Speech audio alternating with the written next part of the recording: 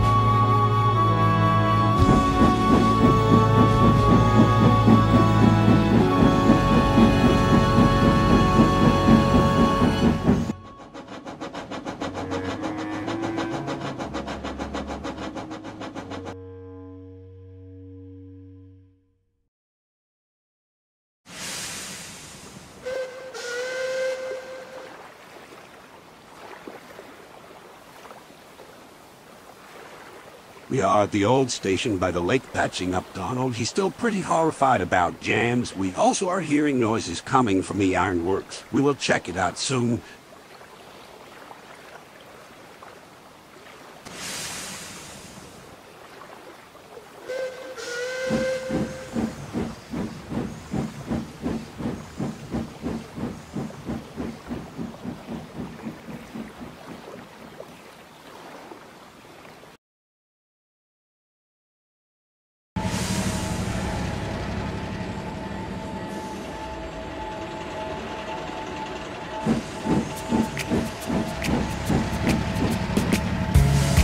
We found Oliver a bit bruised, but all right, apparently. He was passing by Henry when the eclipse struck.